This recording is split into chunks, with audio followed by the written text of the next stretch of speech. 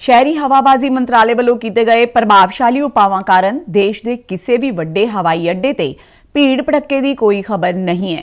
ਹਵਾਈ ਅੱਡਿਆਂ ਤੇ ਭੀੜ ਦੇ ਸਬੰਧ ਵਿੱਚ ਸ਼ਹਿਰੀ ਹਵਾਬਾਜ਼ੀ ਮੰਤਰੀ ਜੋਤਿਰਦਿੱਤਿਆ ਸਿੰਧਿਆ ਨੇ ਨਵੀਂ ਦਿੱਲੀ ਵਿੱਚ ਪੱਤਰਕਾਰਾਂ ਨੂੰ ਦੱਸਿਆ ਕਿ ਭੀੜ ਨੂੰ ਘੱਟ ਕਰਨ ਲਈ ਕੇਂਦਰੀ ਸਨਅਤੀ ਸੁਰੱਖਿਆ ਬਲ ਦੇ ਵਾਧੂ ਜਵਾਨਾਂ ਦੀ ਤਾਇਨਾਤੀ ਕੀਤੀ ਗਈ ਹੈ।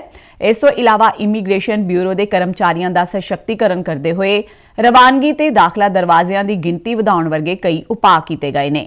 ਉਹਨਾਂ ਦੱਸਿਆ ਕਿ ਪਿਛਲੇ 1 ਸਾਲ ਦੌਰਾਨ ਰਵਾਨਗੀ ਗੇਟਾਂ ਦੀ ਗਿਣਤੀ ਵਿੱਚ 40% ਦਾ ਵਾਧਾ ਕੀਤਾ ਗਿਆ ਹੈ ਉਹਨਾਂ ਦੱਸਿਆ ਕਿ ਪਿਛਲੇ ਸਾਲ ਨਵੰਬਰ ਤੋਂ ਇਸ ਸਾਲ ਨਵੰਬਰ ਤੱਕ ਹਵਾਈ ਯਾਤਰੀਆਂ ਦੀ ਗਿਣਤੀ ਵਿੱਚ 10% ਦਾ ਵਾਧਾ ਹੋਇਆ ਹੈ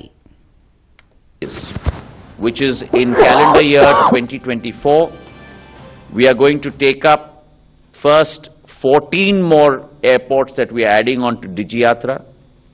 And in the second phase, 11 more airports, so a total of 25 more airports in calendar year 2024.